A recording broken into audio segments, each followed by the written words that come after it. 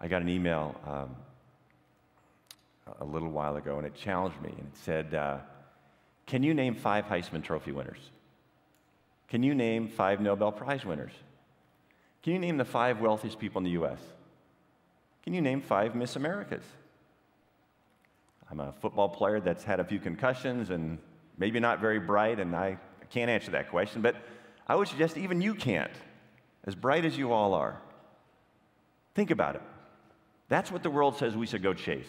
We need to go chase good looks, athletic ability, intelligence, wealth.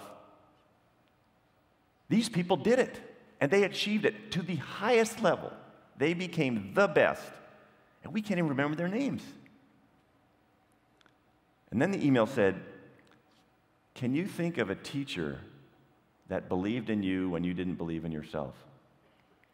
Can you think of a friend that stood by you when you really needed a friend?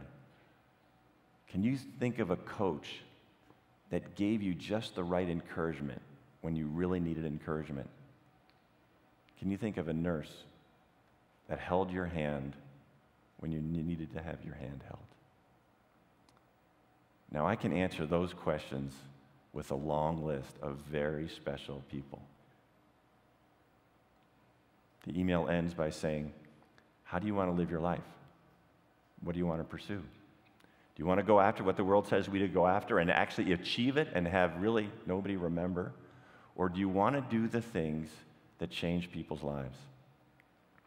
You have an opportunity with every day you go to work to change people's lives.